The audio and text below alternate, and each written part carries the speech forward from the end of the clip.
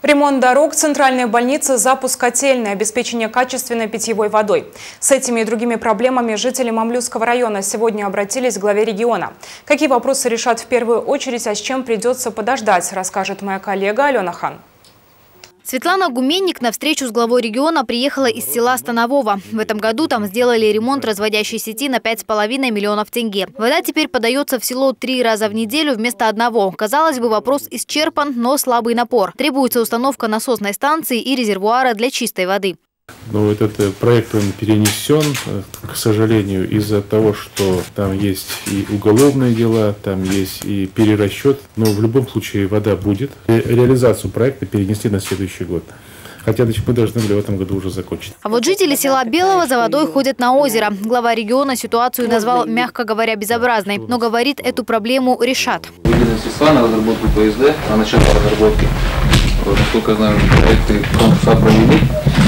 Теперь на 2020 год на уточнение, на утверждение бюджета мы подали заявку на 36 миллионов на завершение разработки ПСД и получение госэкспертизы. Соответственно, если в 2020 году проект разработается, то реализация его планируется на 2021 год. Давайте разрабатывайте проект. Конечно, это ну, неправильно с озера пить воду. Значит, я дам поручение, значит, э, эти 36 миллионов тенге значит, мы выделим, завершайте проект, завершайте проект, ну и э, будем заявляться на воду э, в 2021 году. Еще один вопрос, которым обеспокоены мамлючане, это состояние дорог. Их нужно ремонтировать и в селах, и в городе. Я хотел бы затронуть вопрос улучшения дорожного строительства и ремонта, ремонта прежде всего улиц города Мамлютка, их 76, многие из них в плохом состоянии. Значит, общая протяженность улиц 65 километров. Отдельные из них многие годы не ремонтировались. По словам Кумара Аксакалова, проблема плохих дорог есть во всех районах. Ее решат поэтапно. Для начала отремонтируют по одной-две улицы в районных центрах. Укладывать асфальт планируют в один слой. Для легковесного транспорта этого достаточно, заверяют дорожники. А вот груженные КАМАЗы там ездить не должны. По районным центрам, я думаю, что, скорее всего, что поставим эти ограничители по, по высоте. Физически, да, это таким районом отрабатывать. В селах эта мера, возможно, поможет, чего нельзя сказать о районном центре. Зерно на местный элеватор везут почти через всю Мамлютку. Есть возможность, Кумар Габач, дополнительную альтернативу сделать подъезд со стороны э, поселка Прогресс. Да.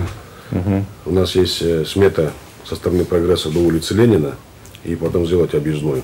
На угу. следующий год мы будем делать проект, про это угу. документацию, сделать объездную э, вдоль, получается, Мамлютки пройти. Угу. И практически выйдем на элеватор. А эту дорогу мы полностью закроем для грузового транспорта. А Татьяна Ушакова интересуется, будет ли центральное теплоснабжение в двухэтажках города Мамлютки. В 2014 году здесь построили котельную, но сейчас она простаивает. Для запуска нужно сделать ПСД и выделить средства на пусконаладочные работы. Мы планируем порядка 30 объектов подключить. Домам э, необходимо создать КСК, кондоминиум и подключаться. Мы поможем, выделим на следующий год эти средства для того, чтобы с областного бюджета, чтобы вы эту, эту работу провели. Обратилась к главе региона и Наталья Бахматская. Многодетная мать воспитывает четверых детей. Живут в аварийном доме. Купить новый нет возможности. Вы мне сказали, что там еще два дома, да, у вас есть двухэтажных? Да, есть э, два дома, которых э, практически они пустые. Угу. Мы сейчас мы их поставили на бесхоз, в этом году инициировали о признании их бесхоз. И потом планируем их э, реконструировать. Тогда Наталья с семьей сможет получить там квартиру. Так как в Мамлютке не строят новые дома, в очереди на жилье можно стоять еще очень долго, говорит женщина. А еще не делают ремонт в районной больнице. Эту тему глава региона поручил держать на контроле руководителя управления здравоохранения. И в первую очередь направлять средства тем медучреждениям, где в этом есть острая необходимость. Алена Ханджул, Дузбек Кермуканов, Новости МТРК.